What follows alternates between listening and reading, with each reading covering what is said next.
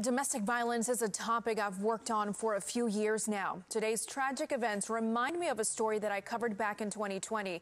Pregnant mom Ashley Garcia beaten to death. Her accused murderer and abuser is still on the run.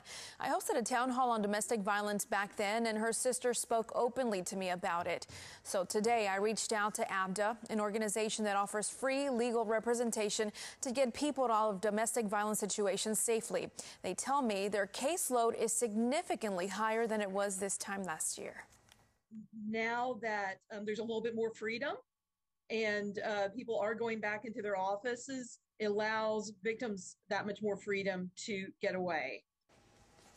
Now, Marie Jacinto also told me that leaving an abusive relationship abruptly is the most dangerous time to do so. She says victims need a safety plan and also safety signals if possible knowing where your car keys are, having the children's birth certificates, your driver's license, having an emergency bag packed, have some kind of signal to a neighbor that there is a problem. Maybe it's flashing a light or, or closing the blinds.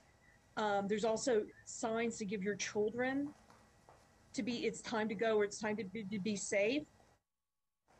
I've compiled a list of several organizations in our area that you can reach out to or maybe to help a loved one or friend. We do have this online. And I also have a longer list on my social media pages, including more resources outside Harris County.